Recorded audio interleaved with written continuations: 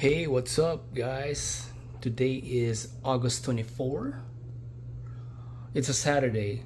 So, I was reviewing one of my old videos of my lawn, and I wanted to share how I got how I got it to make it look like this.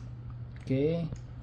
And since I was watching it, I remembered oh, I had a magic formula. So I went to the basement and I found it. Yeah, right here. So this is what I used back in the days when I was so crazy about lawns. I don't remember what this product is anymore. What's this? Four dry ounce. And then I made a funnel. Yeah, right there and then there's like a what's this thing?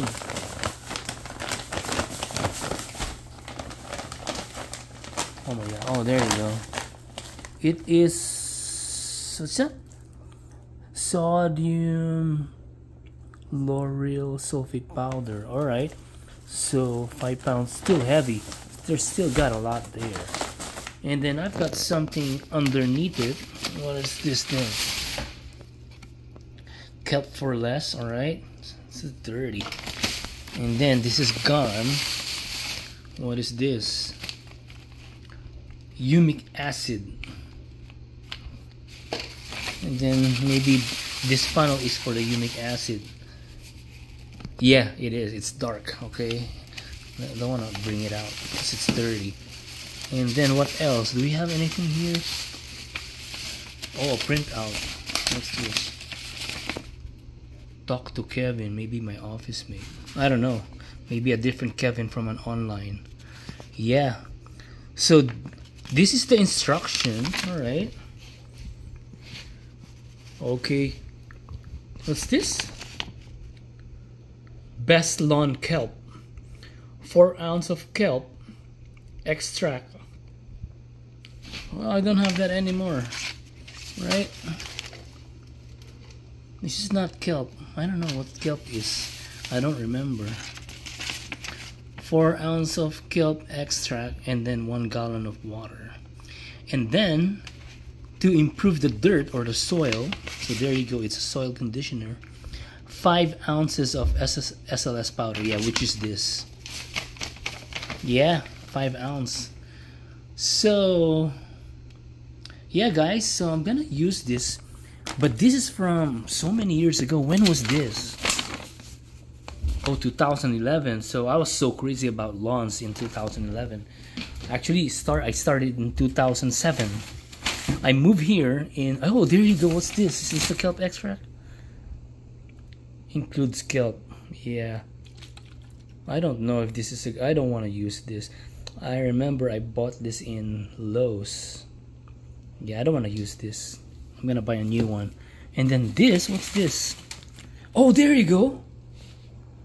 Kelp for less. How to mix. There you go. These are, it contains instruction. Yay, it's here, guys. My magic potion for, for achieving this lawn. Let's see. And I got 47,000 views 11 years ago. Yeah.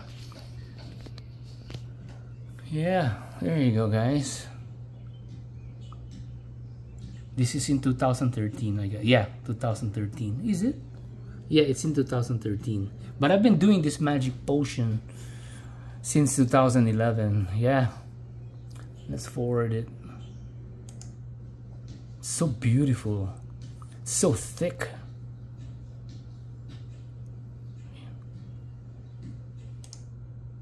Yeah, Look at that, guys. I've got, I can tell I've got a bad mower blade.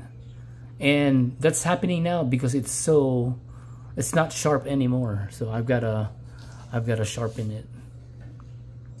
Yeah. I don't know how I got to 47,000 guys. I don't know what I was doing back then. Now I'm getting like four views, one view. it's okay. I'm not, I'm not using this as my source of income. I have a I have a, an external company, you know. I mean, I work for a company, so that's my source of income. Yeah, I'm just using YouTube to share my share whatever I know, so that you guys can also learn. And I I learned this thing from folks at aroundtheyard.com, but I think that site is dead. Yeah, look at this. It's so freaking beautiful. Yeah, there you go, guys. So, again, yeah, that's the magic potion. I'm gonna use it. But before that, because it's ending summer, I'm gonna use this. I'm gonna use this soon. Um, before the weed seeds starts germinating. So it's perfect time to drop this today. It's color yellow, it's chemical, it's used for preventing um, weed seeds from germinating. And then I'm gonna I'm gonna put like maybe 1.5 teaspoons of this granules uh, and mix it with a one gallon of water. And then the next application is when like maybe two weeks before forsythia plants blooms or there is a site that I use where I check the soil temperature. Um, we must apply uh, pre-emergence when it's like 51 when soil temp is 51 degrees Fahrenheit because at 55 degrees Fahrenheit that's when um, seeds will germinate that's warm for seeds that's a perfect um, heaven for for any seeds to germinate. Yeah, I'm gonna use this maybe tonight. Hopefully, I'm gonna clean up the the sprayer. I'm actually thinking of buying a sprayer uh, backpack uh, version and maybe a 24 volts rated instead of pumping it so every time you spray and then you lose air you have to pump it. I'm thinking of just buying a battery based sprayer. Yeah. So this is really good. So I'm gonna and then uh, this is so old. I've had this since like 2013 maybe. Yeah. Because no no no 2009 because I renovated my my front yard um because that's like four years old. The one that you saw that's four years old.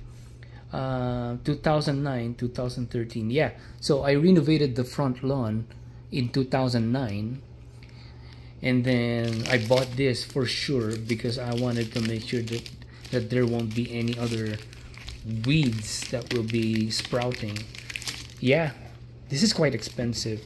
And I have another product which I believe I mentioned in part 4 it is the tenacity um, used for post emergent.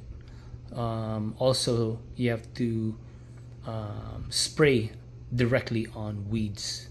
Yeah, it doesn't hurt the grass though, especially for turf type tall fescue and Kentucky bluegrass. But I think turf type tall fescue um, grass is more um, is is more stronger than KBG it won't actually hurt it. Yeah. So I'm referring to the tenacity product. Small one is like $70 but takes a while before you will finish it.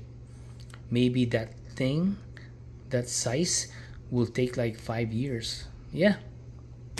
Or maybe more. Yeah. I had to give some to my friends. Yeah this one as well we had to divide it by three. Yeah I gave them yeah guardrail.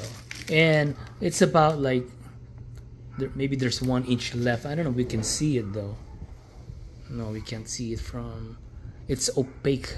I thought it was kind of like translucent that we might see the light. Yeah I don't know. But anyways alrighty guys just wanted to share. Alright later